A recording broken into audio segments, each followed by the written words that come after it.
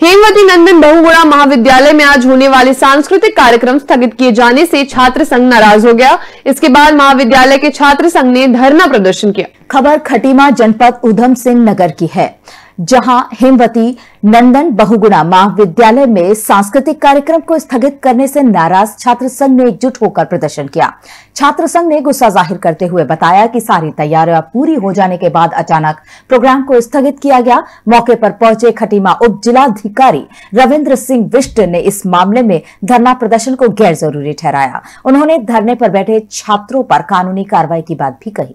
महाविद्यालय में भारी राजनीति जो चल रही है, भारी राजनीति के चलते हमें इस महाविद्यालय में प्रेशर बनाया जा रहा है। हम उस हम प्राचार्य जी की भी गलती नहीं बताएँगे। प्राचार्य जी दिव्यांग है, विकलांग है, अपने पैरों से उनके पैर तो कम वो है।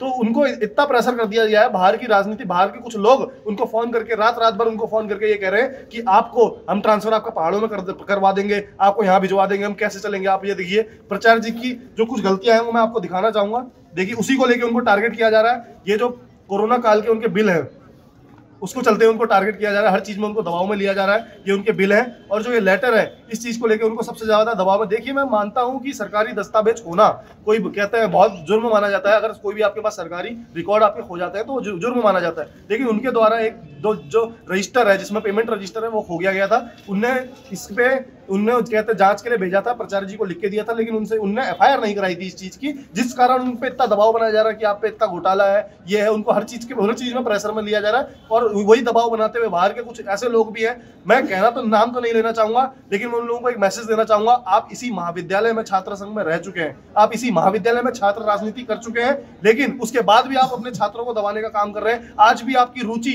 इस महाविद्यालय में है। आप भी आज आज भी आप इस महाविद्यालय को राजनीतिक अभ्यास न समझ के राजनीतिक अखाड़ा बनाने में लगे हुए मैं आपसे दरखास्त करूँगा कि इस महाविद्यालय में, जो इस महाविद्यालय के बच्चों के लिए सही है, और जो हम महाविद्यालय में छात्र संघ चुन के भेजा गया है, उनके डिसीजनों का सम्मान करें, और बाहर से कृपया करके सरकार का दबाव न बनाते हुए इस महाविद्यालय को आगे बढ़ने दें। सांस्कृतिक कार्यक्रम इनके द्वारा किया जा रहा है चौबीस तारीख को, जिसके जो प्रिंसिपल साहब है, उन्होंने हमें रिपोर्ट दी थी।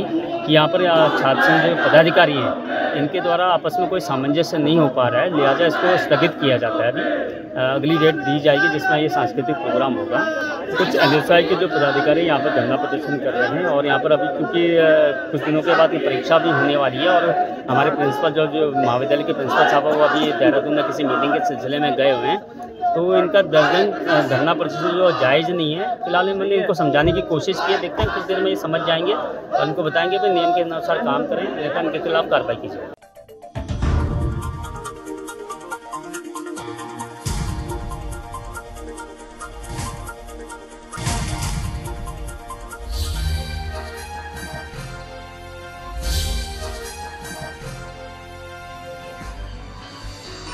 आप देख रहे हैं दखल न्यूज़।